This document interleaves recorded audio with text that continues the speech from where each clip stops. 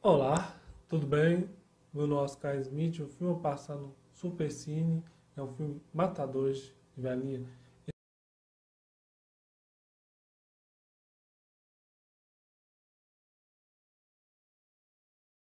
Esse é um filme de comédia e crime. No elenco tem o Tom Hanks, tem o Marlon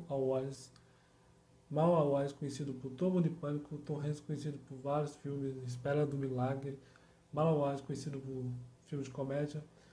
Matadores, Velhinha, filme de comédia e crime de 2004, 2004. Cinco bandidos decidem matar uma velhinha depois que ela descobre o plano de roubo deles. Mas os criminosos jamais imaginavam que matar uma velhinha em defesa fosse tão complicado. Esse filme foi lançado no dia 24 de março de 2004.